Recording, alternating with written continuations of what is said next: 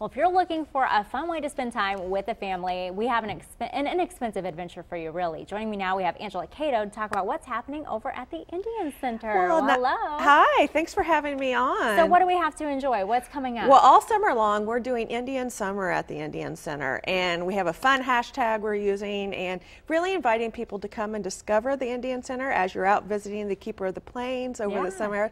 Walk into the Indian Center because we have the rest of the story inside there. And so, anything new this summer that people can go and experience? Absolutely. We have a new exhibit that just opened called Every Sheep Gets a Haircut. Ah. and it's a fun exhibit. It's about weaving and those type of materials and um, what you go in there and you can mention that you saw information about it on, on this newscast. You can get a free mini Luma yourself or you can try your own hand at weaving, a little activity kit. Sure. And it, it's just a fun and um, fun excitement. What you're seeing now are some pictures we did for a commercial that we're having air on KAKE. Ah, um, I love it. a lot of fun activities. There's um, hands-on activities for the children inside the museum and this is any day of the week. They're open Tuesday through Saturdays, 10 to 4 and it's really just a great opportunity to go in there. We have now have the largest mural ever created by Black Bear Bosin and his connection to the Keeper of the Plains is he created the Keeper of the Plains mm. and also was one of the founders of the Indian Center. So it's really just a great opportunity to go in there,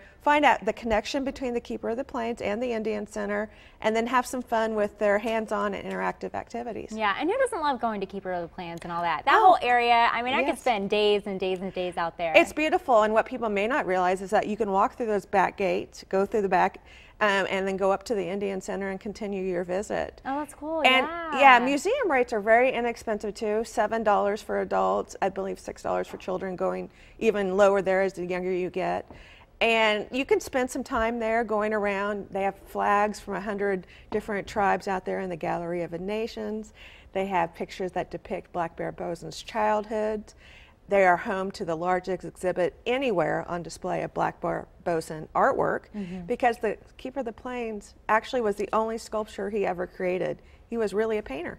And everywhere it seems like we get a ton of pictures of Keeper of the Plains yes. and we love them. So I, I, appreciate everything with that. Is there anything with all the exhibits for um, this summer that you absolutely love that you're like people just need to see that one right there? Well, you know, I am what you saw a picture here a few minutes ago that large mural for Black Bear Bosin. I mean, it is immense. It was donated just not too long ago by CoBank to the city of Wichita mm -hmm. on permanent exhibit at the Indian Center.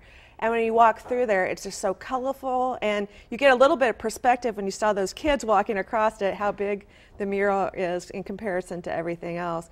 It really is just the centerpiece of our Bosin exhibit mm -hmm. and really finishes the story because it was the last piece he ever created. Yeah, that's beautiful. Well, I love it. Thank you for joining Thank us, you. Angela. We put some details up on our Facebook fan page if you want to go and check everything out over at the Indian Center.